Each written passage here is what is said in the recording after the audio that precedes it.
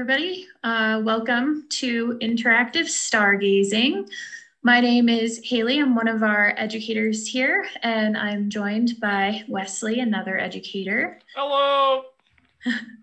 so uh, today we're just going to be going through some objects, showing you guys uh, things that we can see that you request. So feel free to request stuff in the chat.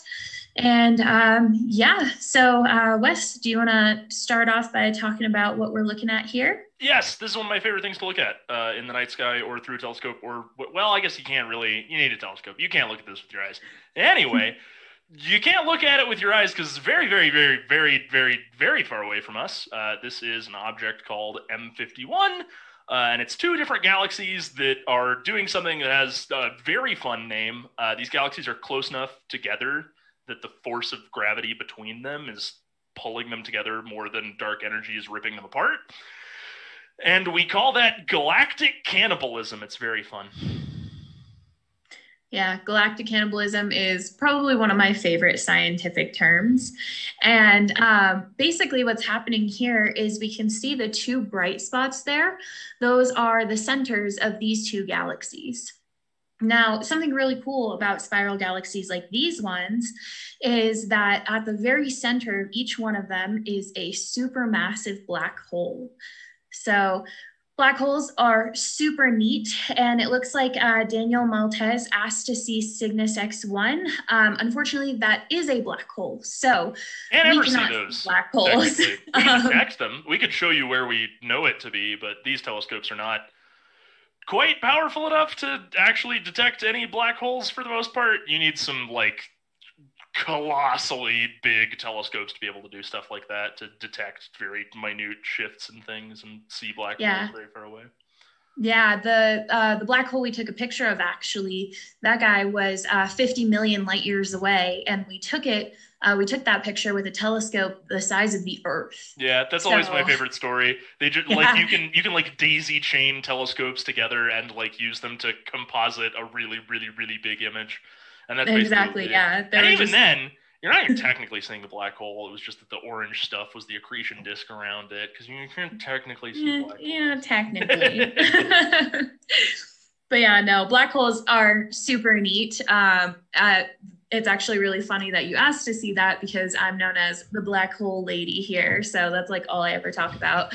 Um, but uh, something really cool that's going to happen to Whirlpool Galaxy is that the centers of uh, these two galaxies, right, these two bright spots, have supermassive black holes inside of them. Mm-hmm. And so they're going to get super close and they're going to like do a little death dance, basically, going spiraling into one another.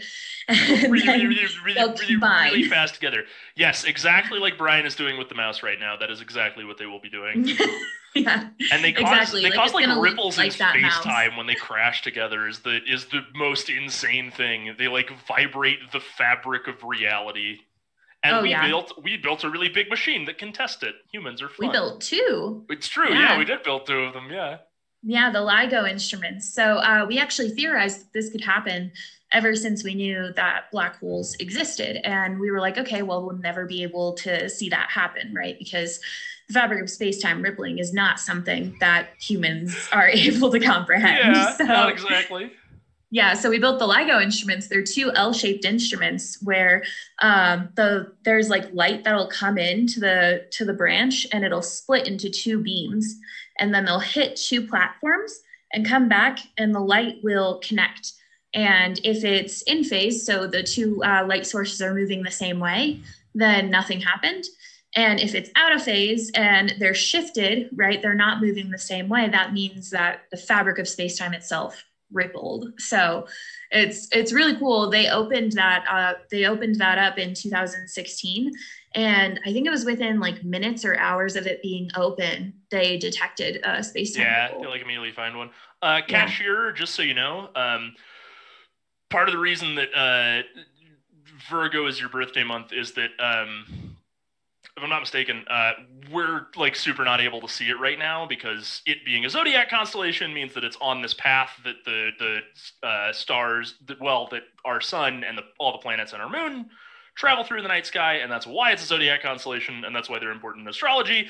And so, if it is your birth sign month, it means that currently it's sort of where the sun is right now is where that star sign is. So we can't see Virgo right now. Yeah, Virgo will be up uh, sometime. It's like a spring constellation during the nighttime. So during the daytime, it's up like right now. But yeah. Um, and it looks like uh, yeah. Book Davies asked about big planets, Saturn and Jupiter. Um, so super exciting. Both of those are up right now. So we can go take a look at those. Uh, which one do you think we should start with, Wesley? Oh, let's start with. Uh, we could do Jupiter first because Saturn's a little higher in the sky. So if we start with Jupiter, we can go to Saturn and hopefully it'll look prettier. Yeah, perfect. Not that Jupiter won't look pretty. It's a very cool object. Uh, Terry Rhodes, just so you know, it looks like NGC 4565 is below the tree line right now, so we're not able to see it. hmm And it looks Yeah, like so- Brian has brought us Jupiter. Look at that. There. So is. the thing about our Cam is it's structured specifically to take pictures of like deep space objects. So it can take in like tons and tons of light and give us images like what we just saw of M51. With Jupiter, it is so close that we need to lower the exposure rate quite a bit to be able to see any kind of detail on it. So you can see here that uh, Brian, the guy who's operating our Cam, he had to turn the exposure rate down a whole lot to be able to see these bands here. Mhm. and then, Almost all the way um, down. It's getting around near the the amount of time that your eye exposes for, which is kind of wild. hmm Yeah, it's just if you had eyes that were 14 inches in diameter, first off, you would look really Yeah. scary, but um, you would be able to see it kind of like this. So, you know, it's a trade off. Like, do you really like astronomy that much? I mean, up what to you. lengths are you willing to go to to see Jupiter? yeah, exactly. And also to Um, be fully blind during the day. True. You'd have to be nocturnal. There's Yeah. no way. yeah, yeah, absolutely not. Um, so what Brian just did is, he's, is he turned up the exposure rate so that now we can't see detail on Jupiter, but we can see its moons right now. So um, it looks like from left to right, we have Io, which is uh, one of the smallest moons, or well, it's the smallest of Jupiter's four largest moons, so the Galilean moons. So we've got Io, and then uh, Europa, then there's Jupiter, and then uh, Callisto and Ganymede. Those are the four Galilean moons because those are the moons that Galileo saw with his teeny tiny little telescope. Exactly. They're also used to help prove that the sun didn't go around the Earth. At the time, it was sort of thought that everything we could see went around the Earth, and so everything had to go around the Earth. But these were some objects that Galileo was able to point at and say, hey, these are definitively not going around the Earth even a little bit. So Oh, they yeah. sort of used to help prove that, which is cool. It's fun to hmm hear about that. Yeah. All right. So, um, it looks like we've got quite a few requests. That's awesome. Yes, um, you did ask to see Saturn. Though. Yes. So let's go to Saturn next. Yeah. Saturn's really cool. Saturn's very well known for its rings, but a fun fact about Saturn is that all of the rest of the gas giants also have rings. It's just that the rest of them are incredibly difficult to see, whereas Saturn's are pretty easy to see because they're mostly made of water ice, which, as you probably know, is very reflective. hmm One of the most reflective materials out there. This Oh, is Joe's, correct. hi. I miss you so much. Jose is one of our educators who left us a little bit ago. So, um, oh, I'm glad you're watching. But yeah, so um, you can see here, like with Jupiter, we lowered the exposure rate on Saturn so that we can see uh, the nice little gap between uh, the rings and the planet. And one of my favorite facts about Saturn was also from Galileo. When he looked at Saturn, it was with this tiny little telescope, and he could like barely see the gap between the rings and the planet. And when it's at certain angles, he couldn't really see it at all. So he said that Saturn had ears because they looked like ears on the sides of the planet. I didn't know that. That's hysterical. Oh, it's great. But yeah, so you can see uh, this little dude. And um, if you blow out the exposure, we can see some moons of Saturn as well. Hit it, Brian.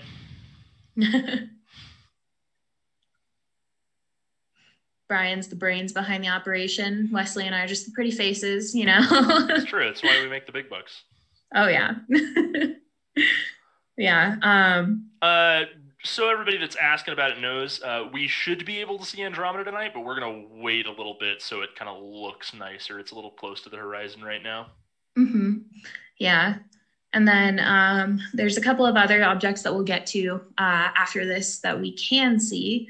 Um, but it looks like um, we can see some of those moons there. So, uh, Wesley, do you want to point those guys out? Yes, I would love to point these guys out. So, I am blind. Where am I? There we go. Um, okay, so it looks like the one on sort of the bottom left. Brian, would you point at that one for me? That one appears to be Titan. Um, and then directly above Saturn is Dione, and then Rhea and Tethys. Oh, those are right next to each other, aren't they? Good lord. Mm-hmm. Little Yeah. tiny. Usually all four of them are, are really, really close to Saturn, but Titan's sort of a little further away today. Titan needed some space It from the rest of the space. family. There's lots of space in space. Oh, yeah. Lots of distance between things in space. It's very true. Yeah. But yeah, so it looks like uh, Paulette would like to see M39, an open cluster in Cygnus. So, um, oh, I totally skipped over. I'm so sorry. Daniel uh, asked for the star Vega. So let's do Vega, that of first. course. I love that Yeah. star. That used to be our North Star. Mhm. And in about 12,000 years, mark your calendars, it'll be our North Star again. You just have to wait for the Earth to very slowly wobble over this direction. oh, yeah. I fully plan on waiting for that to happen. I, I also plan on being around for it. oh, yeah. We have to be. It's true. But yeah, so uh, the bright star Vega is actually one of my favorite stars to talk about because right behind the sun, it is the most studied star out there. So Vega Spectra is actually the first star other than uh, the Earth star. Uh, that we actually took a spectrum of. So it was uh, super duper neat. And um, also, if we have any fans of the book and uh, movie Contact, this star was featured there, right? So in the movie, Jodie Foster, the star she ends up going to is Vega. So it's pretty neat. But yeah, um, it looks like we blew it out um, for those uh, diffraction spikes. So you can see uh, that's like what a stereotypical drawing of a star would look like, right? So, um, but I think it's really cool. And we've got that nice like blue color. Vega is a blue star, so it's very large, hot. It's a younger star. And I'm pretty sure it's about 25 light years away, if I'm not mistaken, which is pretty close. It's one of the closer stars to us. That's why it's so So- bright. It's the fifth brightest star in the night sky. I believe it's the fifth, yeah. Yeah, hmm But yeah, it's a cool looking. so um, that's the bright star Vega. It's now, also one- rotating so fast that it's almost ripping itself apart. Sorry, I talked over you. Oh, that's totally true. Yeah, no, thanks for chiming in. I totally forgot about that. um, but yeah, now uh, if we want to see more bright stars, we can go to M39, which is an open star cluster. So that's just Brian, like a bunch of! Vegas. um, oh, and so it looks like um, how do we focus the telescope so quickly? So the telescope is always focused to the camera. Now, um, if you notice, Brian is switching between two softwares. So there's uh, one software that moves the telescope around, and then there is another uh, software, the MallinCam, which is where we put together all the pictures. So um, it's actually really cool to see the PlaneWaves move around because they're super quick and really quiet. We call them our ninja telescopes because they're They always sneak like up on people, yeah. Yeah.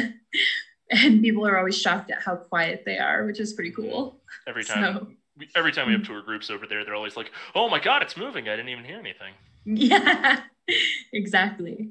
Um, do you want to talk about uh, uh, open star clusters? Uh, yes, I would love to talk about open star clusters. Sorry, my computer monitor is being weird.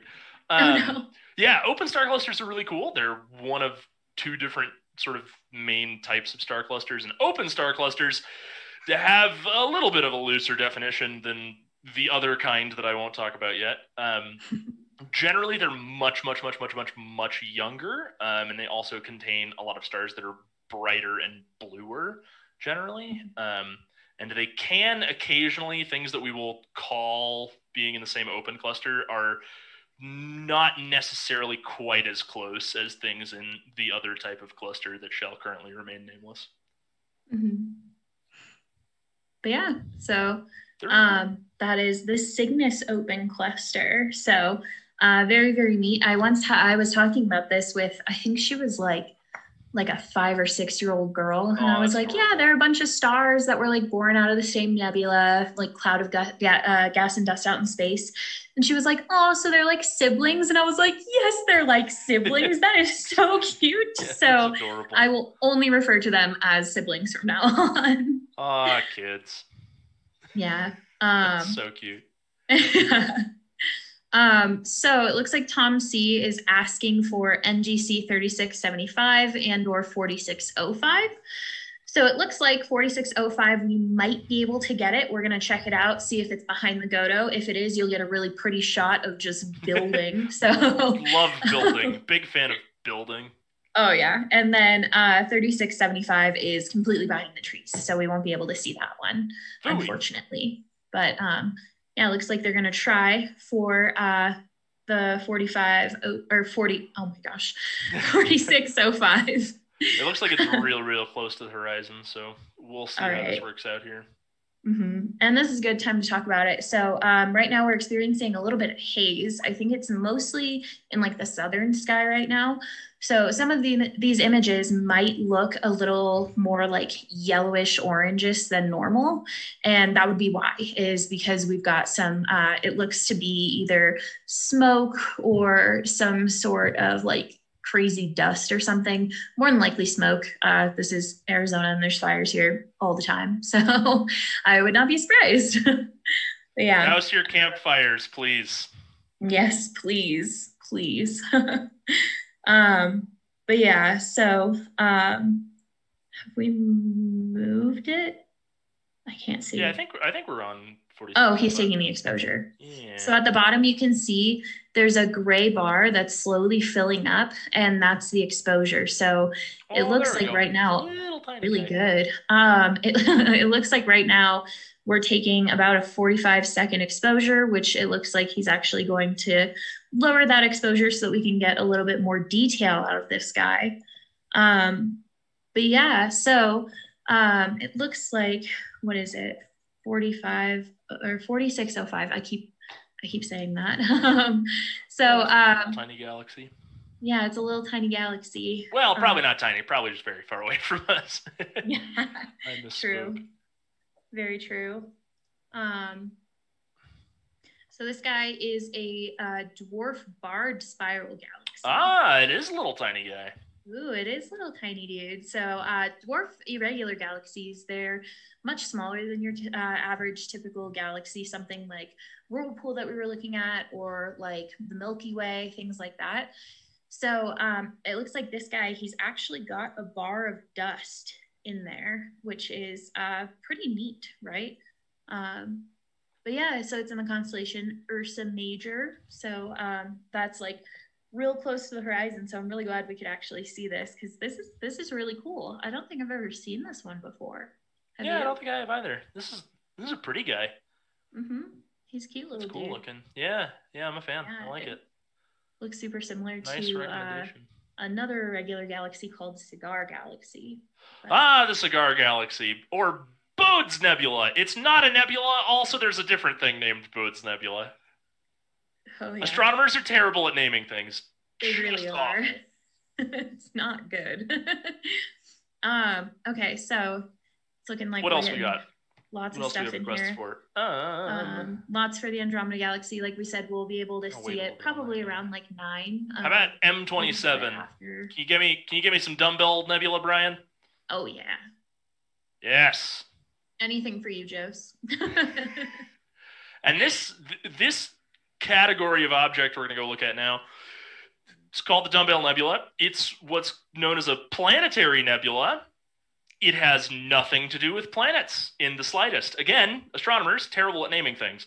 What these kinds of objects are, these planetary nebulas, they're stars that used to be similar to our sun that have since died. And when a star like that dies, what happens is, oh, that's neat. All those tails you see there are from the camera moving as this picture was exposing. Um, but when stars like our sun die, what happens is they sort of don't have enough gravity to hold on to all their outer layers. And so the radiation pressure that they're causing in their cores by smashing elements together and making energy, well, kind of making it, you know what I mean. Anyway, they lose all these outer layers because they sort of push them out more than they can hold them together. And so they poof out into these really big, very pretty clouds of gas here. So lots of that red stuff you can see on the outside is some hydrogen and elements like that. Um, and most of this bluish greenish stuff is things like nitrogen and oxygen. Mm-hmm. Yeah, yeah. So, oh, that looks really good. So you can really start to see those outer gases, how there's like a peak on the outside. And um, personally, I think this should be renamed. I don't think it should be named Dumbbell. I think it should be named like Apple Core or I think it should be named Smart Bell. Boo. oh, come on. I try. Brian, what'd you think about that one? He's agreeing. Brian says he liked it. oh my goodness. That 20 I We're making Brian, Brian out to be this like lol cryptid behind the well, scenes. Well, um, but yeah, so uh, dumbbell is one of uh, one of my favorites. I think it's just really pretty to photograph and um, you can really see that core in this one, the, the little white dwarf star in there. So uh, it's pretty neat. But yeah. Um, ooh, so it looks like someone is also asking for yet another uh, open cluster. We're looking for M11, so the wild duck cluster. Now, another speaking case of, how don't great, let astronomers name things. I know. I was gonna say, speaking of how great they are at naming things, mm-hmm. uh, go ahead and put in the chat whether you think this looks like a flock of wild ducks or not. Yeah. Not this. Wait, wait for a second for the next one. Because oh yeah, no, then I promise it'll look like a, a wild duck cluster. Oh, 100%. Not just a duck cluster. Oh, a certainly wild a wild duck, duck cluster. Yeah, absolutely. So, as we can all see here, Brian, would you draw the duck for them? Uh, very clearly, there's a duck in this, and I don't really think I need to uh, explain it. It seems pretty self explanatory to me. So, yeah. oh, yeah, no, it's, it's just, it looks exactly like a yeah, wild duck uh, cluster. Clearly. So, yeah, no, absolutely. Yeah. yeah. um, yep. Oh, it looks like the, uh, uh, there's the bill there that uh, Brian is, yeah. Mm-hmm. Um, it looks like Daniel asked why the cigar galaxy is called so. Um, it's very simple. It looks like a cigar. yeah, exactly. Again, great with the names. just, so, just, um, just stellar. Oh God. Uh, uh, Can someone kick him out of the chat? I'm please? here all week, folks. they haven't been oh, able to man. fire me yet. Oh yeah, but yeah. So uh, it's literally called the Cigar Galaxy because it looks like a cigar. It looked very similar to the like object vaguely we just looked cylindrical. At. It's I. I mean, okay, but with like smaller telescopes, it does look more like a cigar. You know? I feel like that's being very generous. I don't know. You know, it's, it's fair. It's fair. Fine. It's not. You know, it's not as bad as Planetary Nebula. It could be much worse. oh yeah. um, and it looks like uh, Tom also also asked for M13, which is the yes! other type of cluster. Yes. Yes. Do you want to take it over, Wesley? Yes, I would love to. M13 is gorgeous. This is one of the mm-hmm. prettiest things you can see with literally any kind of telescope or even just like binoculars if you have them yourself. Go out and try and find Hercules and then sort of below his his right armpit left from below one of his armpits is this extremely gorgeous globular star cluster. This was the previously uh, unnamed other kind of star cluster that isn't an open cluster. These things, unlike open star clusters, are incredibly old and very red and very cool and very close to dying. Uh, these are sort of ancient, decrepit, falling apart clusters of, of proto galaxies is what they're called mm-hmm. and they're really really cool and they're very very very densely packed they're some of the few places in the universe where stars are so densely packed that they can occasionally slam into each other just accidentally they're very very cool and they look gorgeous like i mean oh, yeah. speaks for itself and M13, I mean, this thing, it's got like about half a million stars inside of it. So that's just like an insane amount of stars. It's insane. and then uh, it's like it's somewhere around 20,000 light years away. So these uh, these objects, these globular star clusters, they exist at the outer edges edges of our galaxy. So these are some of like the farthest things away in our galaxy that we are able to see. yeah. and this, uh, we think, yeah, we think these might be uh, cores of galaxies that the Milky Way has consumed over time in galactic cannibalism. That super fun thing we talked about at the very beginning of this stream. But yeah, so um, Just M13. for- comparison so that everyone knows these are so far away from us that the the light that Brian is currently getting pictures of right now left there about 23,000 years ago, which was around about the time humans were figuring out the wheel and fire. love that. so um, yeah, so this is a really pretty one. And um, oh, it looks like Tom is also asking for M17. Ooh, this is one of my favorites, the Swan slash Omega Nebula. It doesn't look like a swan, it looks like a nose. I think it looks like a swan. I think this is one of the few I'm- things that's like I- actually named. Brian, Brian, you have control of the mouse. You you know that it looks like a nose. Brian, Yeah. yeah, okay. Oh. Brian's saying yes. There we go. All right. Rude. When when we put it up, you guys please like verify me Everyone in vote chat. in the chat. looks Yeah, like a everybody get in the chat and vote on whether this looks like a nose or a swan. We won't point should out put, like, either of them to you in yet. We'll just yeah, yeah, yeah, yeah. if somebody can get a poll going. Absolutely. Okay, See, give it a looks like- second. Give it a second. Hold on, hold on. Everybody wait. Everybody wait. The camera's Okay, still okay, moving. okay, hold on, okay, hold on, okay. hold Okay. Everyone, hold your horses. I will not hold my horses. I, I like them free range. You will let them free. All right. I'm very sorry. I would I would never ask you to do such a thing to your horses. Thank you. Okay, right. there it is. Everyone, vote in the chat. I, I will be watching. Does this look like a swan or a? or Okay, a well, we have to point it out first, okay? So Nope, the nope, swan, I just want it's opinions. I just upside want down. opinions. Oh, come on.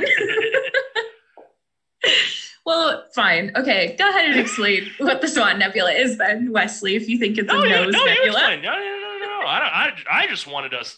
I want our, I want our chat to to be unbiased by our opinions. Okay, okay. All right, fine. All right. Show them, show them what the swan looks like. Um, so the the brighter part, the kind of longer part right there, that is supposed to be the swan's wing, and then uh, the kind of brighter part coming down from it is the head of the swan. So Jose agrees with me. That's all I cared about. Thank you, Jose. That's all right. you know that's fair. I all right now now for the objectively correct interpretation of a cloud of gas thousands of light years away from us and what it kind of sort of looks like uh, is that it looks kind of sort of like a nose and not like a swan. And uh, Brian, if you would point to the uh, bridge of the nose, please, Brian. Brian, if I could. Uh, yeah, the bridge of the nose is right there, and there's the the nostril there at the end. Did you point to the nostril, please, Oh. Brian? Thank you, Brian. Yes, and uh, oh, flying fish. Yeah, no, it kind of looks like a flying fish. People are saying in the chat it kind of looks like a flying fish. Cecilia. Uh, Cecilia from the Lowell Discovery Telescope, about 40 miles south of where Haley and I are in Flagstaff right now, says that we are both wrong. Uh, Cecilia, what what actually is this thing supposed to be? Yeah, what do you think it is? If you just say we're both wrong, you, you gotta like give us something. Yeah, you gotta you gotta give us a, an alternating, not noose. No, no, no, no, no, not noose. A nose. It's a nose. Ah, yes. A couple of people say that they see an upside down swan. They they just had to turn their phones upside down to be able to see it. all so right, all right, Yeah. fine. It's fine. We'll have our difference of opinions. Do you want to explain also what kind? flying fish. I kind of like flying fish now. I'm a little. Honestly, it's grown on me. Yeah, I you know it is. I I agree. Tobacco cigar, pelican, upside down Tobacco swan swimming. Thank you, Tom, for backing me up, man. a bunch of yeah, people Tom's saying got fish. your back. Tom's got my back. Oh, I love Uh, it. Davidian, it does not look like a wild duck. I will. I don't know who you are, but I will find you. No, th- this is an anti-wild duck cluster observatory. We are we are anti-wild duck cluster. love it. Um, do you want to explain what this type of nebula is, though? So we've to just explain what argued this over type what of it looks like. Yeah, now that we've spent entirely too long arguing over what thing this arbitrarily looks like, um, what this actually is is what's called a, a, stellar nursery or a star forming region. So this is a an impossibly big cloud of gas, mostly hydrogen, out in space. Um, and what's happening in it is in some tiny little parts of it, you'll get a little pocket that's a little more dense than all the stuff around it. And since it's more dense, it'll be a little bit more massive, and so pull other stuff towards it with gravity and and keep going and going and going and going until you end up with so much gas in one spot that it starts smashing hydrogen atoms together in its core. And that's what a star is. And something like this will make anywhere from a few hundred to a few hundred thousand of those, depending on exactly the specifics of how it all works out. It's sort of an object to object determination. And it's kind of cool because inside of these uh, stellar nurseries, we don't 100% know exactly what happens when forming stars. So we are sending up the James Webb Space Telescope. Super exciting. So uh, the James Webb Space Telescope, it is uh, not replacing the Hubble telescope as a lot of people think. It's actually adding on to it. So um, there's a super fun thing called the electromagnetic spectrum. And a lot of people are like, don't think it's fun. I think it's fun. I studied optics, so this is like the coolest thing ever to me. Um, but the electromagnetic spectrum is basically this spectrum of any form that uh, light can take. So it can be like radio waves, which are super huge, like the the size of the wave from end to end is like the size of a mountain, basically. And then it will go down to microwaves, uh, infrared, near infrared, uh, visible light, ultraviolet light. Those are the two that Hubble primarily sees in is visible light and ultraviolet light. And then there's also um, X-rays and gamma rays. And um, the Hubble uh, views in visible and ultraviolet, but the James Webb Space Telescope is primarily going to study infrared light.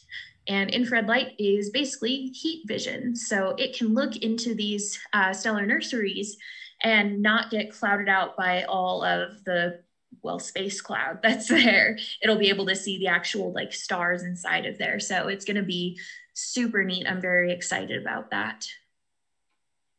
But yeah um so yeah and uh cool. So it looks like someone is asking about NGC 869. So that would be the Perseus double cluster, which is not yet high enough, but we will be able to see it on next month's interactive stargazing. It'll be up high enough, but uh, currently it is just not in this uh, reach of our scope. It's not in our scope. Huh? What do you think? did I nail it? yes, you did a wonderful job. Thank I'm you. very proud of you. Awesome. Um, but it does look like somebody would like to see the Veil Nebula. Yes. This is also this is I love imaging the Veil Nebula. It's so it, cool. It is so cool. And it's like you have to manipulate all of the stuff. So if you guys notice on the side of the picture, there's this whole bar and it's got like uh, gain, it's got contrast, it's got brightness, gamma, all of that fun stuff. So basically, Brian takes in all of this light and he will um, take it all in and manipulate it until it looks good.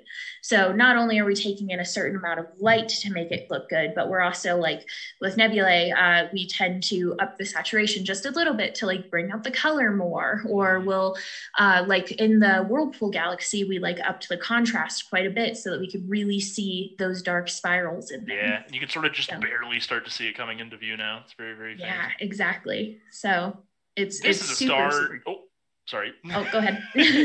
this, uh, well, it's not a star anymore, actually. So it's not a star. I shouldn't have said that.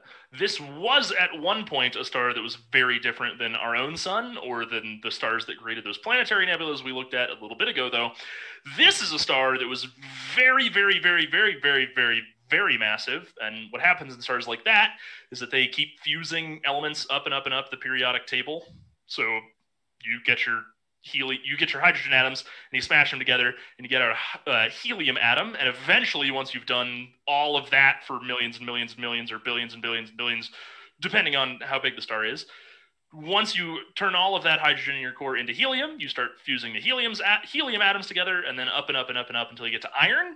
Um, and the process of turning the element before iron into iron takes place in a number of minutes. It happens extremely, extremely fast. And when that happens, Uh, iron is a it, it can't be used in this same fusion process that the star's been using to make energy for somewhere from billions to billions of years at this point of its life. And so it very rapidly starts collapsing in on itself because it's still really heavy and has all of this gravity that's crushing it together, but it's no longer fusing things. So the radiation pressure pushing outwards is all gone. And so it collapses in on itself. And then matter really does not like being that close to itself starts to get close to violating some laws of physics. And so, to counteract that, there is this massive, impossibly big explosion. And it is events like those massive supernova explosions that make all of the elements heavier than iron. So stuff like gold or uranium, anything like that, was either born in an event like this or something even more horrifyingly catastrophic to do with stars. But uh, one of my favorite things to talk about with supernovas is they can actually uh, they create not only these heavier heavier elements, but they also create neutron stars. Oh, yes. Yeah. So neutron stars are insanely cool. So earlier we talked about the Dumbbell Nebula and how it was like a smallish medium star that had died. So the core cooled down, the outer gases expanded, it pushed out the outer gases, crunched in the inner gases. Now, um, I don't think we went into this too in, de- uh, in detail, but basically, all the inside stuff that crushes down doesn't lose any mass. It actually just loses empty space. So, one of my favorite ways about talking about this is if everybody would join me and look at your hand. All right. So, if you look at your hand, I can pretty much guarantee you remember a time you opened a door with this hand, right? I can guarantee a time you picked up a glass with this hand. Go ahead and give yourself a self five. Yeah. So, your hands are solid, right? And I know a lot of you are like, Haley, that's such a dumb question. Like, of course, my hand is solid, right? Your hand is over 90% empty space. Yeah, there's empty space between the atoms in your hand. There's empty space between the bits of those atoms, the quantum bits of those bits.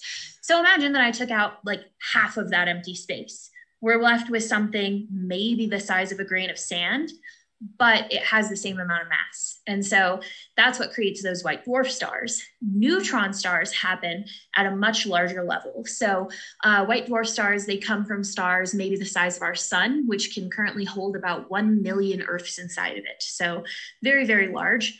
A white dwarf star, about the size of the Earth. So quite a bit smaller. These neutron stars come from extremely large stars. I'm talking like hundreds of times bigger than our sun. And the neutron stars are the size of Flagstaff. They are city-sized stellar objects, which is super cool because if you like took a teaspoon of neutron star, it would weigh more than the entire Earth. So these these things are really really neat. They're really really intense. The reason they're called neutron stars is because it it forces the electrons inside of the like nucleus of the atom. So it just essentially the entire star is functioning as one really really big atomic nucleus entirely made of neutrons.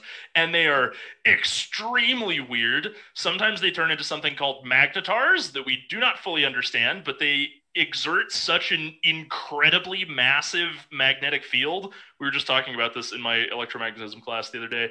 They exert such an intense uh, magnetic field around them that they fundamentally alter the properties of chemistry in the areas around magnetars because they change what the electron orbitals around atoms are like, and that changes what the properties of elements are. So they fundamentally alter chemistry Mm-hmm. And if there's enough uh, stuff around the neutron star and it's spinning fast enough, it'll shoot material out of its poles, and that is called a pulsar.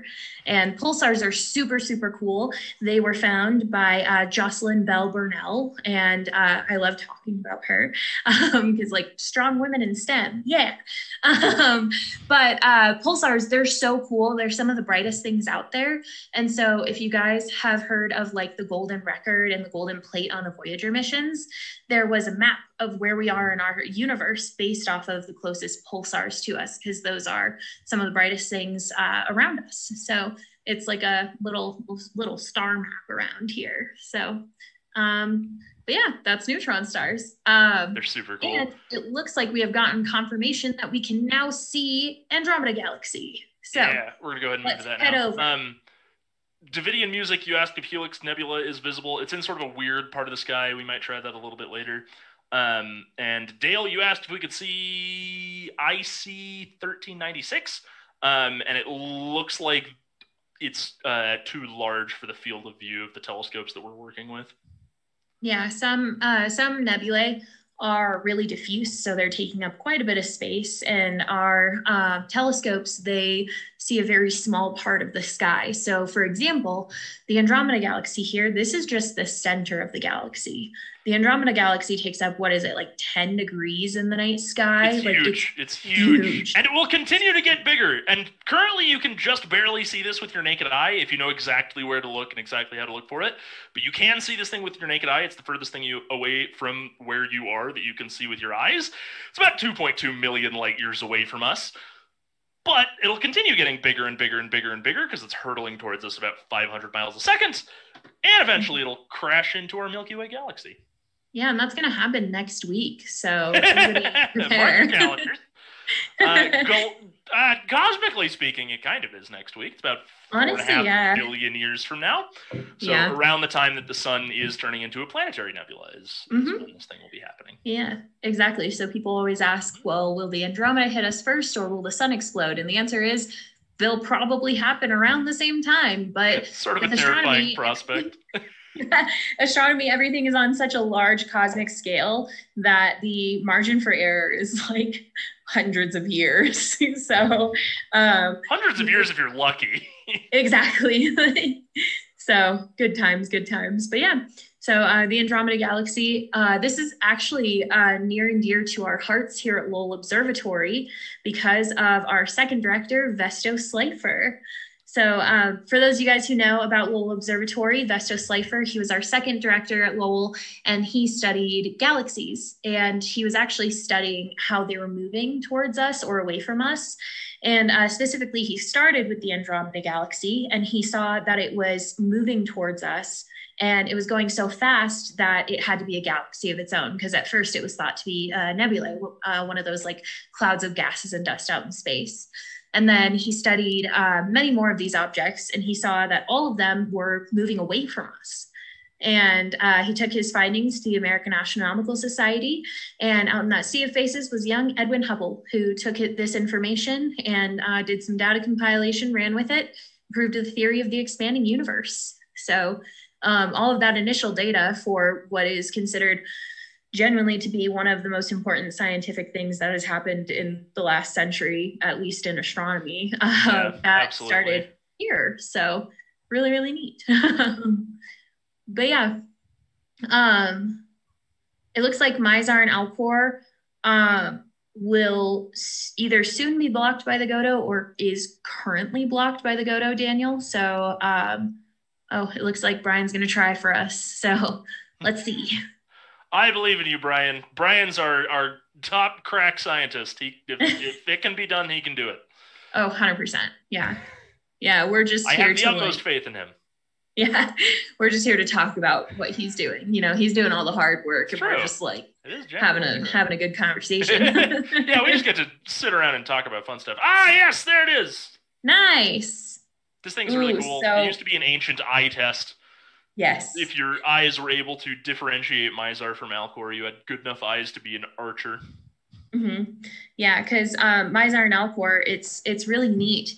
It is both an optical binary and true binary. So uh, binary, it's two things, right? In this case, two stars orbiting around one another.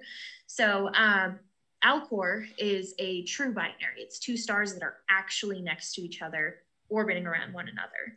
And then Mizar and Alcor look like they're right next to each other in our night sky. So, like Wesley was saying, if you can see um, both Mizar and Alcor in there uh, with your naked eye, then you have impeccable vision.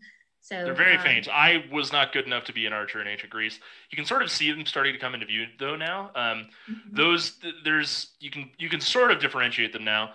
Uh, on the right of your screen, the two little points of light right next to each other, those are both Mizar. That's Mizar A and Mizar B.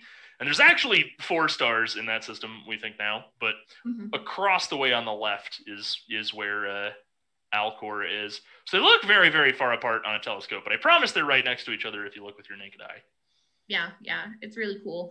I um I can see it when my glasses prescription is up to date, but um, yeah, mine's a little old. That's how I know that I need to get new glasses sometime soon. honestly, yeah, we have to see for our job, so I'll just like stare at eyes are and I'll go to the eye doctor. it's true. It's very true. yeah. So, um, but yeah. Um, oh, so we were gonna check out the Helix Nebula. So Yes, um, the Helix Nebula. Yes, let's see if we can find that. Um, it is in the haziest part of the sky. So, like we were talking about earlier, how there's a little bit of haze. We'll try. Um, We're gonna yeah. again. Brian is our our top scientist, so Brian's got this.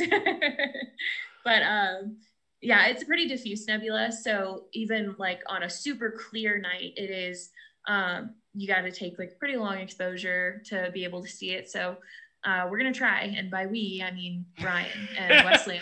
we will cheer Brian on as Brian tries. We will provide moral support. Go Brian! Woo! I I believe in you. You can do it, Brian. Oh yeah. Yeah. So um let's see.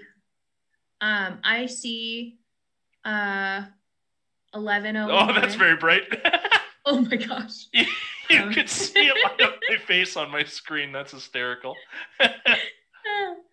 Um, so it looks like uh, Ah. we got a request for IC uh, 1101, and that would be in uh, Virgo. So it is um, not able to be seen right now, um, but it is really cool. It was it's uh, the biggest known galaxy, and uh, during our Messier live stream, we did image it. So uh, if you guys have time to go check out the Messier live stream, it's on there, which is uh, really really cool. But um, oh, you can see it. Sky is hazy.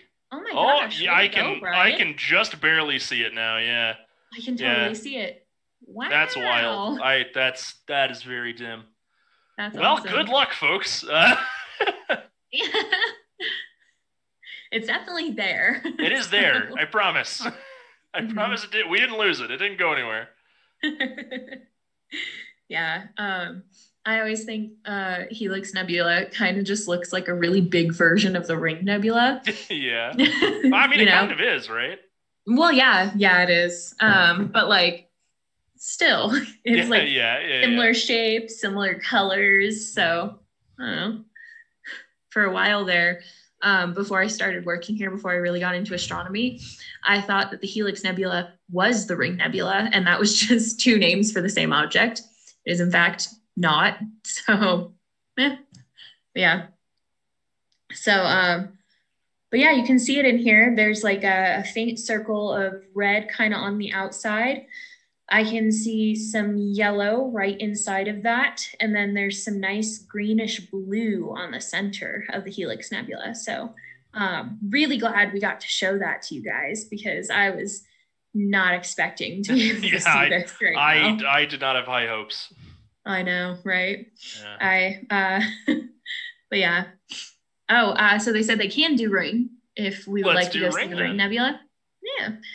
So, um, they said can do ring will be better. So looks like it'll be better. but yeah. I would believe it. um, yes, it is similar to the Cat's Eye Nebula. That is another planetary nebula.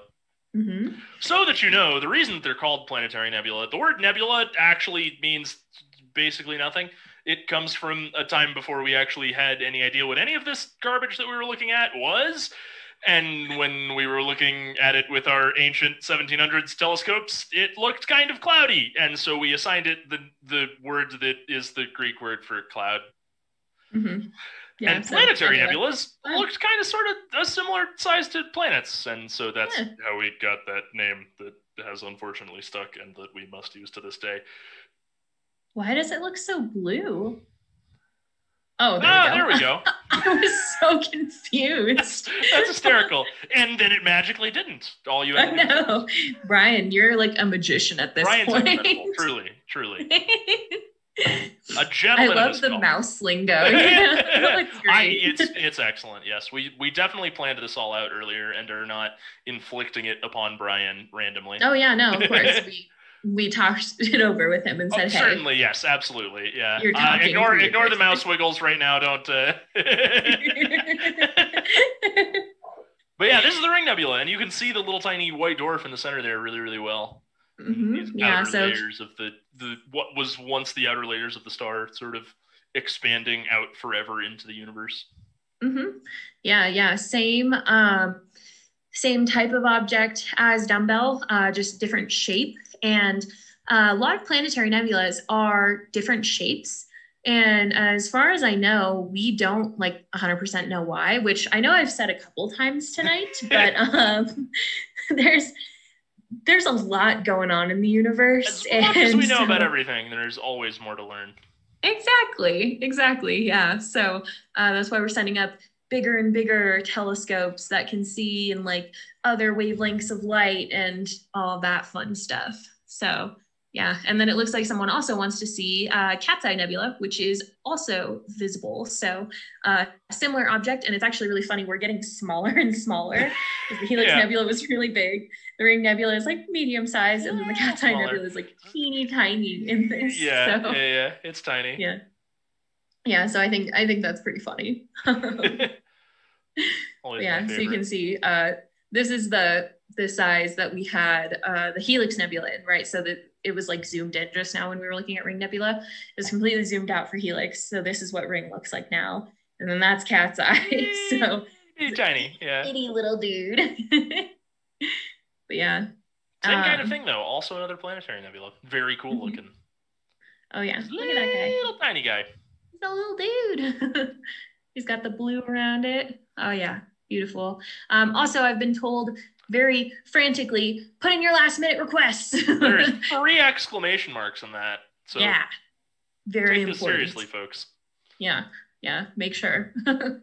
um, so, uh, videographer experience, you asked what telescope is funneling the photons for this image. So, photons, the little tiny particles of light that are moving in a wave like form.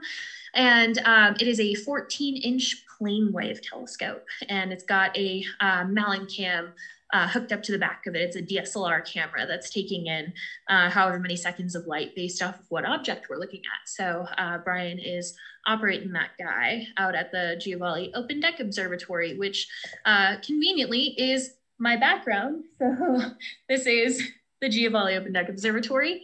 And uh, I think I'm pointing at it, that one right there. That is, oh gosh, ah, that one's our 14 inch. So um, that's the one we're looking through. But yeah. Yeah. See if I Um, can point to it on your background. This one. Think. Let me see if I. Okay, the delay's caught up. Yes, I pointed to the it's right like one. the oh, I'm so good at my furthest tall one right here. Yeah. Yeah. So, um, this image, by the way, is on our website. It's one of our branded uh, Zoom backgrounds. So, if you guys want to check those out, we've got a bunch of really cool ones. I really like this one. I just found it today. So, uh, very, very neat. But yeah. Um, but yeah, so uh, Cat's Eye Nebula, that's this little teeny tiny guy here. Um, Itty bitty guy. Do we have any other? Oh, um, so our lovely Heather is putting the Zoom background link in the chat for this video. So if you guys are interested in getting these Zoom backgrounds, then go ahead and uh, click on that little link and it'll take you guys to our website. So um, does anyone have any other requests? Because if not, Wesley and I can throw some stuff out there. I think somebody asked for Algol. I think that's a star Where? In the I do not see. YouTube channel. So Al Ghul, uh, fun fact. Uh, so the constellation Perseus kind of looks like a little frowny face, and um, Al Ghul is one of the dots on the frowny face, like one of the eyes on the frowny face. And uh, one of our coworkers one night, when I like first got hired, was telling me, um, I think he's actually outside right now. Curtis was telling me the name of the star was Al Ghul. And I thought he said Nazgul, like the Witch King in Lord of the Rings. Yeah, yeah like the And ring I wraiths. lost it. I lost it. I was laughing so hard. So, That's hilarious. Um, but yeah, so it is Algol, which uh, I believe translates uh, something like the demon's eye. So um, it's supposed to be Very like uh. Perseus's constellation is Perseus holding the head of Medusa next to him, and it's supposed to be one of her eyes is the star Algol. Terrifying. Very scary. It's really cool. Quite scary, but really cool. I'm very excited. So, it's, it's, um, an, it looks like the sky. GODO is in the way for us to see it. So, um, Sorry. but it does look like we can see Triangulum Galaxy. Brian, so, uh, M33 stat. Pinwheel. Do you know that there's two galaxies called Pinwheel Galaxy? I did know that there's two galaxies called the Pinwheel Galaxy. Like, why? Um, Now, Omar, you may live in Sacramento, California, but you could drive down here to lovely Flagstaff, Arizona, and see the Milky Way. Uh, a little easier than that might be uh, you're sort of. Uh, I know this because I used to live a couple hours away from where you are now in Nevada. Currently, it's on fire, so not a great recommendation. But when it's not on fire, uh, up near Lake Tahoe has some pretty gorgeous stargazing. There's if you can get to a spot that is a little less light, it's just a couple Mhm. hours away from you. It is currently on fire, so I would not recommend visiting there right this exact second. But that's probably Yeah. the best place near you to get good stargazing, Omar. yeah, yeah, for sure. Just uh, somewhere where it's like fairly dark outside is where you can see the Milky Way, and you don't need a telescope to Like see it. beautiful Flagstaff, Arizona. Yeah, like beautiful Flagstaff. Um, you can see it with your naked eye, so you you don't even need a telescope or binoculars or anything like that. And uh, the darker the sky or like the darker the area is, the better you're gonna see it. So if you live somewhere that's near the middle of nowhere, then go to the middle of nowhere, and that's gonna be Exactly. where it's Yep. gonna look the Mhm. best. Directly to the middle of nowhere. Yes, exactly. Um, so yeah, um, this is Pinwheel, the Triangulum Galaxy. Um, this is Also another one of the close sky is a little galaxies to us. Yeah. Um, you, it's like super faint, but you can see like the nice spiral structure. It's called the Pinwheel Galaxy because it looks like a pinwheel. It's really gorgeous. I love looking at this thing. Yeah. Yeah, it is really pretty. I like it a lot. Um, and then uh, can we get all four stars of Epsilon Lyrae, one and two, in the same field of view? That's the double double, yeah? The double double. Oh, I love it. Um, double double. the double double. So it's, uh, oh, uh, Omar's thanking you. yeah. Got your back, buddy. Nice. Yeah.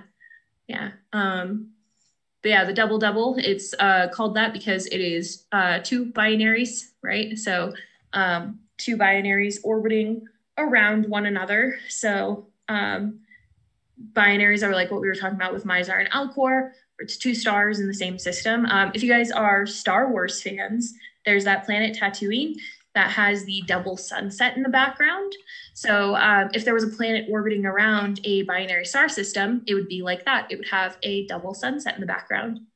Or in the double doubles case, I believe it would have four four suns. So um, It's a lot of be it's a lot of light. That'd be very bright. I don't I don't know how. Uh, I I need it totally dark to be able to sleep. I don't know how much sleeping I would I would get done on one of those planets. right. It's like Alaska, but more intense. yeah, So- yeah, yeah.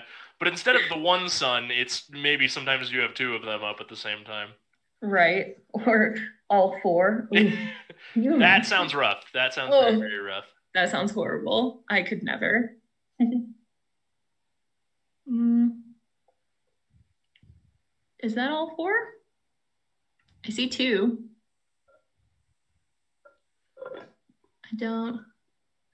Um, I can't quite tell. I don't know this is the double double. I can't tell if this is both doubles. I think it might be both doubles. I think that's why we're dropping the exposure Yeah, because the lower exposure will allow us to the pull the two. two apart. Yeah. So Oh um, yeah, I can see them now. They're yes. yeah, yeah, yeah. So you can just barely see them. They're very, very close together.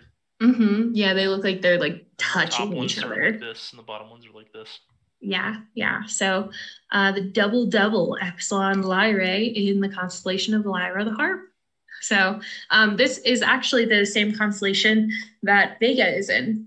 Vega is the brightest star in Lyra, and then the double double is like pretty close to uh, to Vega. It's Mhm. like uh, only a couple degrees away or something like that. Mhm. So um, Lyra's the legendary harp of, of Greek musician of fame Orpheus, if you've ever heard that Mhm. name before. Some of you may have.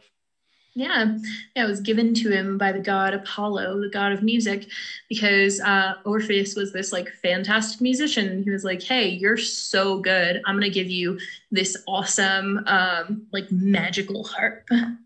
So um, it looks like we're not getting any questions. So I have. We a are request. receiving. Oh, Can we look at Trifid? Is that is that too far in the yeah? Yeah. Ooh, okay. sick. I love the Trifid Nebula. I think it is so pretty because it's three different types of nebula, like right next to each other. So um, it's got like the stellar nursery aspect of it, which uh, stellar nurseries are typically pink because pink is hydrogen. And like we were talking about earlier, stars fuse hydrogen at their cores um, to be able to um, like form and live out their lives. And so there's a nice little cloud of hydrogen, and then running through it is a nice little dark nebula. So lots of uh, thicker dust. And then the bluer part towards the top is a um, is a reflection nebula. So it's uh, gases that are being like backlit, basically. Yeah. So the pointing is a little off. Normally we'd sort of move it around and, and dial things in, but we are we are receiving signals to start winding things down right now. yes, looks like this uh, would have to be the last object. We have to set times. Brian free soon. Hmm Yeah, we've got him locked in a closet right now. Forced to slave away on our telescope operating. yeah, we just never let him go. You know, he just sits there. Brian lives in the GODO. but yeah, so um, this is the Trifid, one of my favorites. Um, I think it's a pretty good object to end on, right? Because it's, it's Yeah. like a nice little combination of things, right? Yeah. So um, Don't forget Remember, to subscribe to this channel and tune in on the what is it, first Tuesday of every month? Yes, first Tuesday of every month. Mhm. We will be here doing this, or some people similar to us, if it's not us. yeah, and we'll also be doing um, objects and things some like uh, Clark 125th events. So our historic Clark telescope turned uh, 125 this year. So very, very nice. It is older than the state of Arizona. So Oh, satellite went through the picture. Look at that. Oh, satellite. but yeah, so um, you guys are enjoying our content. Feel free to subscribe. Um, I highly recommend it because um, I'm totally not being uh, sponsored to say this, right? Neither of us have been paid to say anything. Please subscribe. yes, please subscribe. but seriously, we have some really cool content that comes out all the time. Not just our interactive stargazing, but we also do special events for like, uh, for like the Clark 125th, or we've done uh, opposition, lunar eclipses, all kinds of really cool stuff. So if you're into space, then this is the place to be. Yes, exactly, Yeah. Cecilia. Please smash that like button. We would Yes. greatly appreciate it if you would smash that like button and leave a comment. I can you. I guess you can co- leave a comment on this if you're watching this as a VOD later. I don't know why. I don't know if anyone does that. If you are doing that, leave a comment to me, Wesley Sonamaker, and also send me a letter somehow. I don't Yeah. know how you would acquire my address. But everyone is uh, asking us to uh, wind things down now, so I will. Uh, we will begin the process of signing off with that. Uh, thank you for watching, Absolutely. everyone. We really, really appreciate it. Yeah, thanks. We really, really appreciate it. Um, I am Haley Osborne. Write me a letter as well. Um, I am Wesley observatory. For every letter that you write, Haley, write me two letters. Um, no, write me three letters for every letter you write Wes. If you say that, then they just get in an infinite loop of continuing to write both of us letters for forever. That I Exactly, I don't know if we're allowed to receive that much mail. That seems like too you much. know, mail. I don't care that much. just just send buckets of mail to us. Anyway, um, we should be done now. We should be done now. We are now done. Now it's if you're watching now, you shouldn't be able to. Um, I don't know how you got here. The video's over. Um, it's all done. I, I don't even know how you got let in here. Um, okay, thank you guys for coming. Bye.